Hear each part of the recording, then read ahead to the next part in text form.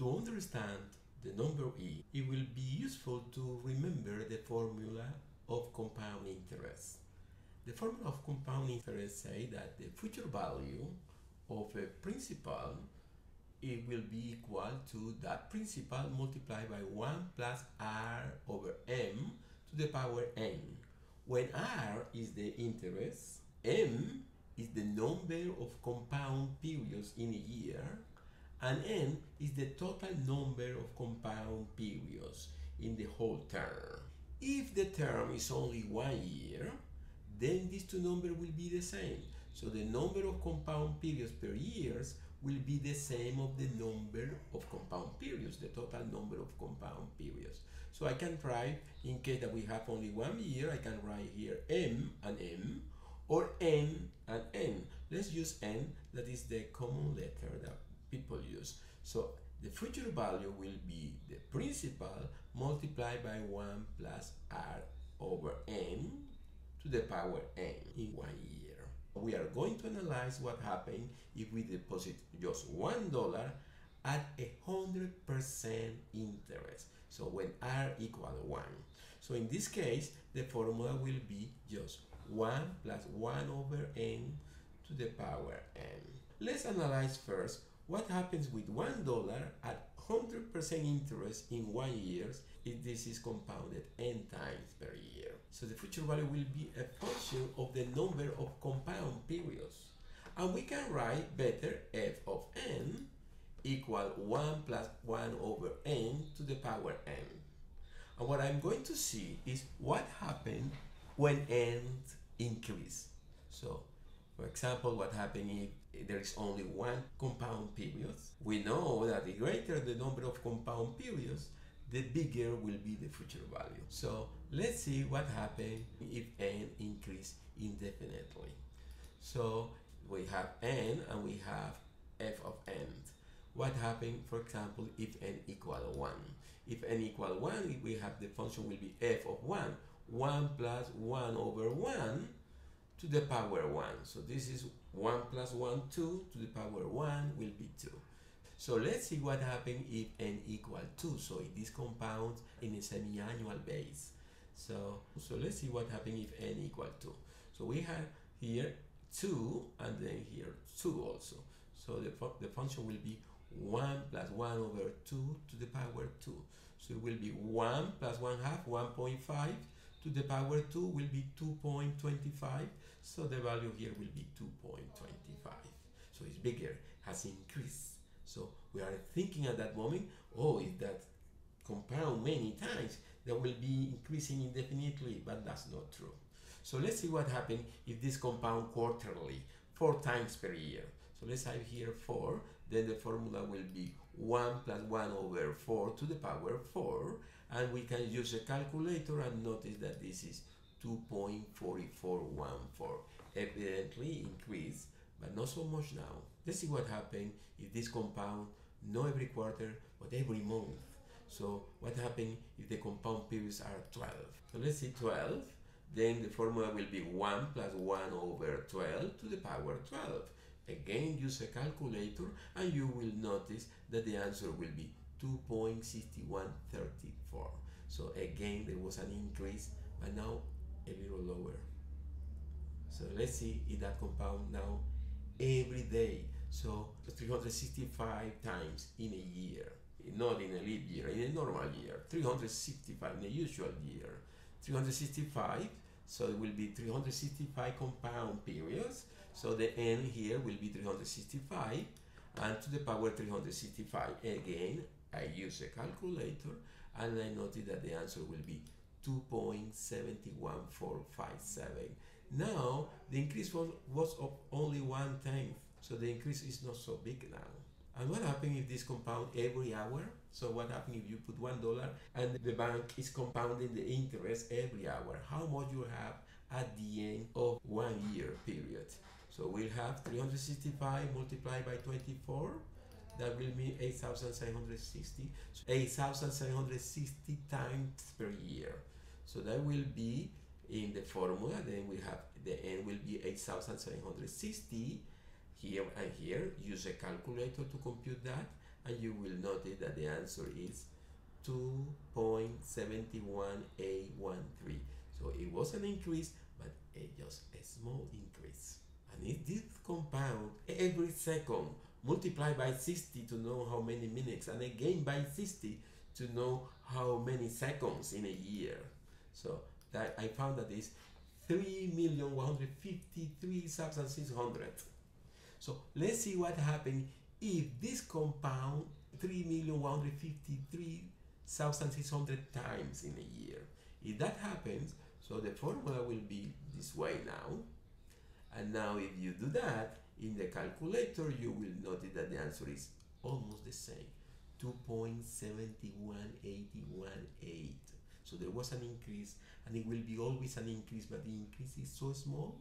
So we notice that when n approaches to infinite, or when, when n increase indefinitely, the function, the value of the of the future value approach to a number.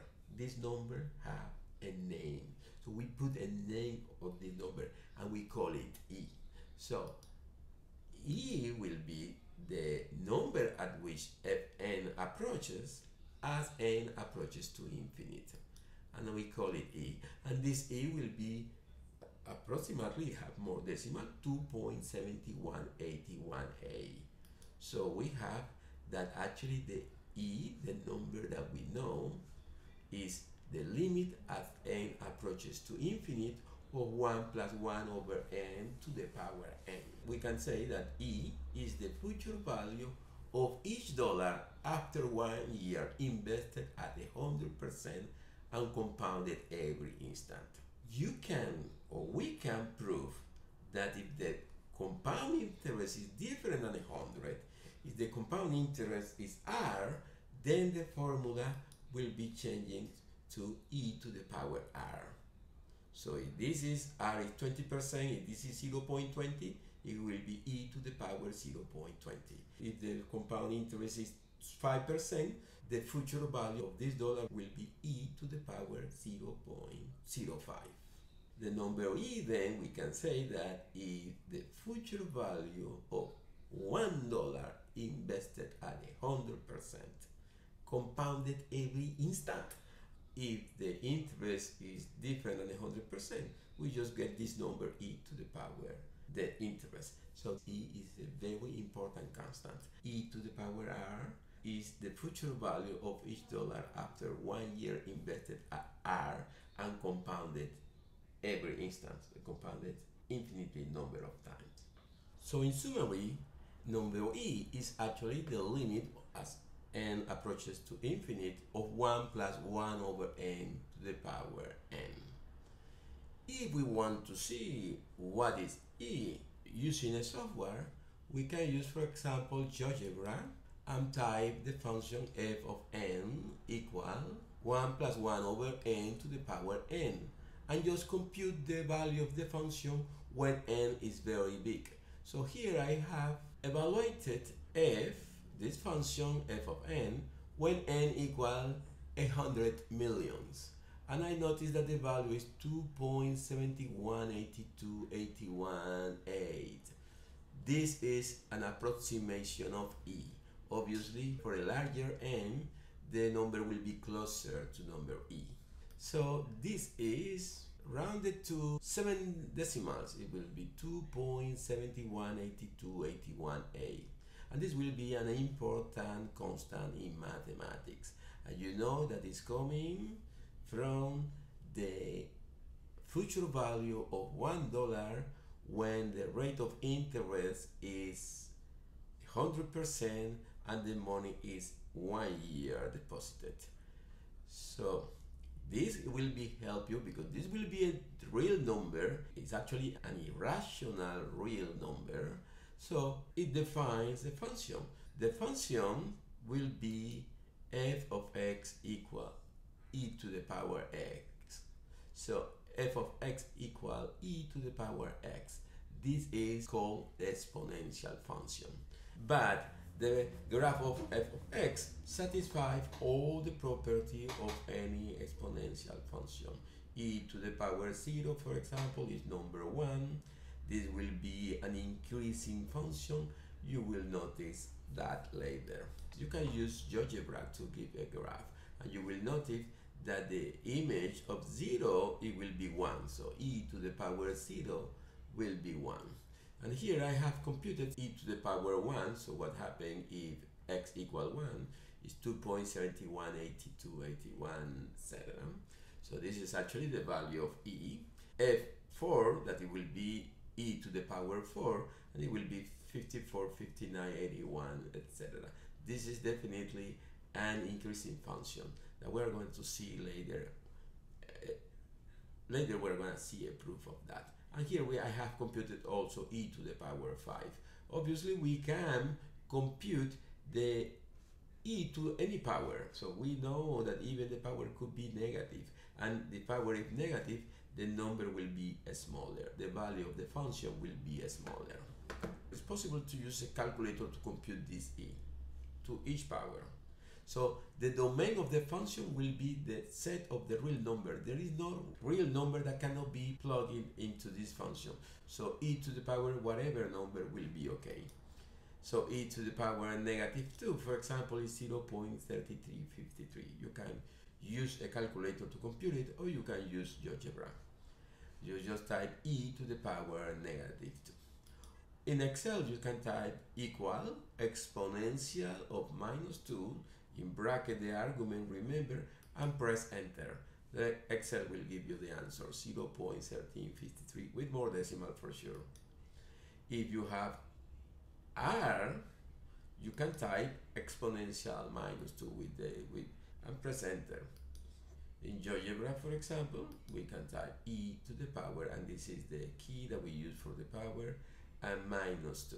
So when you type this to the power, GeoGebra immediately move to the top of the number and then you can you can type to the top of the number minus 2 and type enter obviously. And you should observe that the limit as x approaches to minus infinite it will be 0 so this number is smaller and smaller as x approaches to minus infinite. So the more the value to the left of x the value of the function is smaller and approaches to zero. The inverse of the exponential function is called the natural logarithm function. So the natural logarithm of a number is the power you need to raise this e to get that number.